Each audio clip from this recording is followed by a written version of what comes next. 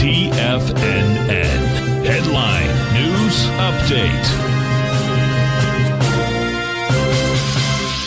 Good afternoon, folks. Steve Rhodes coming to you live from the shores of Delray Beach, Florida. This is your 2 p.m. update. A mixed bag. The Dow's off 114 points, while the S&P is up 8.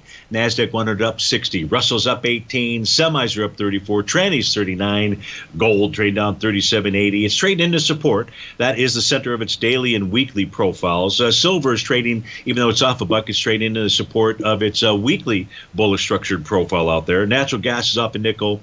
Uh, let's go take a look at our market indice charts out here. We'll begin momentarily by taking a look at the. Uh, actually, let's do this here. There was a question to take a look at the Nasdaq Composite, so I'm going to pull that chart over to the screen out here. And as we take a look at the NASDAQ composite, what do we see out here? Well, you can see it's got a, a Rhodes Momentum Indicator top that was way back on November 22nd. Uh, price yesterday, it's back into an area where it is previously found a bottom. So it's a TD9 count bottom. So the level to be watching there would be a close below 14,931.06. That would take that pattern out and then suggest to move back to 14,699. So that's the message of the NASDAQ composite. As long as, uh, so here's an interesting message. I didn't expect to see this.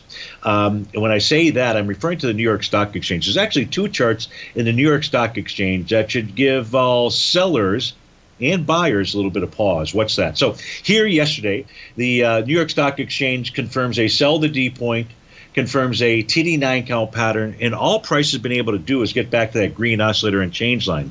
So the New York Stock Exchange signal is neutral. It's not bearish.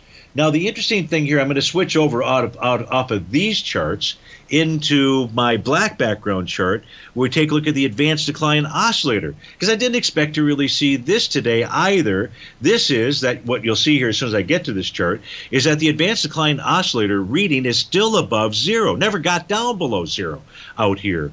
And that's a signal you're looking at panel number two. That is a signal that buyers are the ones in control of the market out there. So very interesting. Now, if buyers are really in control of the market, then what we should see out here, and we'll take a look at the S S&P and the uh, Nasdaq real quickly here.